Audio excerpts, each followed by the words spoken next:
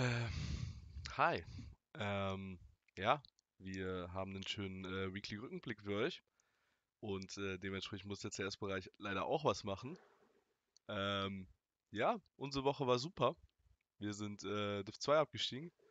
Ähm, gut, die Erwartung war jetzt auch nicht so hoch. Mit äh, drei Leuten, die mehr oder weniger inaktiv waren, sind äh, das Game geswitcht haben. Dennoch bitter. Ähm, hält uns aber nicht zurück, nächste Season nochmal anzugreifen. Rand und ich werden da schon was Schönes auf die Beine stellen und ähm, ja, das, das war's von uns. Wir sind Division 2. Yay. Moin Moin, ich bin KSX aus dem Rainbow Six Siege Bereich bei Ryzen. Unser Playdate 12 ging sehr gut los gegen den ersten EC Frankfurt. Midgame war auch sehr in Ordnung und zum Ende hin und gerade in der Overtime wurde Frankfurt deutlich stärker und dadurch haben wir auch einen 8-6 verloren in der Overtime.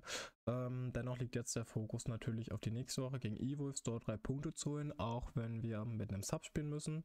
Aber wir als Team geben das Beste. Viel Spaß! Moin Leute, Ryzen Zealous hier und ich gebe euch einen kleinen Rückblick ähm, auf unser Veteran-Team diese Woche.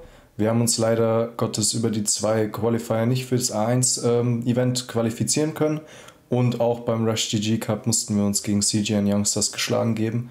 Äh, die Jungs sind trotzdem weiter motiviert, äh, an sich zu arbeiten. Jetzt heute mit der offiziellen äh, Ankündigung von Hydro, denke ich mal, gibt es auch nochmal einen, einen äh, guten Boost für die nächsten Wochen. Wir freuen uns tierisch aufs Arcadia. Ich bin auch vor Ort und ähm, ich bin gespannt auf die nächsten Wochen. Wir arbeiten weiter an uns dass es äh, gut weiterläuft. Moin Moin, ich bin André und einer der Teammanager vom Ryzen Fortnite-Bereich. Ja, was stand letzte Woche bei uns an? Also, bei uns gab es bereits zwei Qualifier der Fortnite Champion Series. Im ersten Qualifier haben sich vier Spieler für die Runde 3 qualifizieren können. Weiter ging es für die aber nicht. Im zweiten Qualifier, das Samstag sowie Sonntag stattfand, qualifizierten sich ebenfalls vier Spieler für Runde 3 und Rifty qualifizierte sich dabei sogar für die Qualifikationsfinals. In Runde 4 hat er den siebten Platz erreicht und ist damit unglücklich knapp an einer direkten Qualifikation für das Grand Final vorbeigeschraubt. Immerhin konnte Rifty sich bereits einen Platz im Halbfinale sichern. Ja, das war's mit Rise Fortnite.